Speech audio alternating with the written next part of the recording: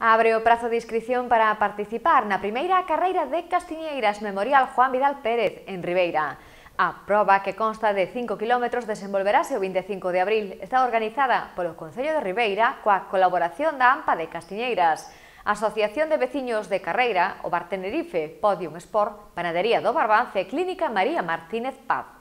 A recadación da proba irá destinada á AMPA de Castiñeiras.